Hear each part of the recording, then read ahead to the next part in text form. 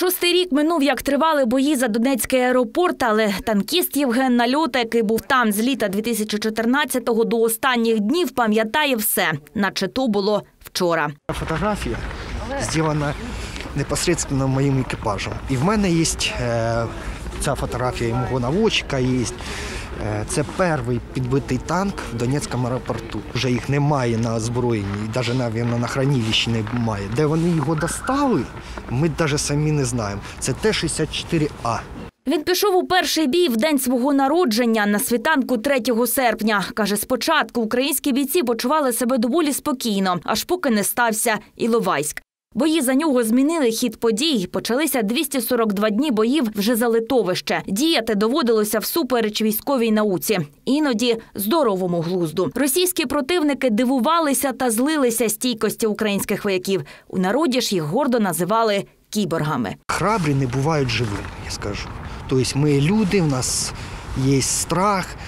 Да, ми діємо логічно, ді- діємо професіонально, але те, що відбувається тоді, це стойкость людей, мужество. Може, те, що вони так казали, що ми не зможемо, а ми доказували в першу чергу собі, що ми зможемо, ми вистоїмо. Тих, хто загинув у боях, і тих, хто вийшов з боїв живими, згадували у Дніпрі біля вуличної експозиції музею АТО. Щоправда, з рахуванням карантинних обмежень. Волонтери, військові та небайдужі дніпряни запалили свічки прямо на музейних експонатах і в снігових заметах. На жаль, не можемо відкривати експозицію, тому не запрошуємо е, людей, які ми знаємо, дуже хотіли би е, сюди прийти і саме так вшанувати пам'ять наших кіборгів. Але ми запропонували запалити свічки у себе вдома, в своїх серцях, на своїх підвіконнях, тобто, щоб е, люди згадали героїв, які залишилися там назавжди. На церемонії пам'яті також підняли стяг 93-ї окремої механізованої бригади, бійців якої в обороні було найбільше. Історія захисту Донецького литовища, кажуть історики, стала свідченням міцності і обороноздатності української армії.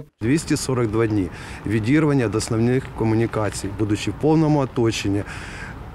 Вони зробили е, ну, справжнє диво, да, тому що вони вибудували так правильно ту оборону, вони зайняли так ті позиції, вони врилися в землю і вони витримали. За офіційними даними, у боях за Донецький аеропорт було поранено 440 українських військових. 101 військовий загинув, ще дев'ятеро вважаються зниклими безвісти. Руслана Козиряцька, Денис Крикус, Open телеканал відкритий.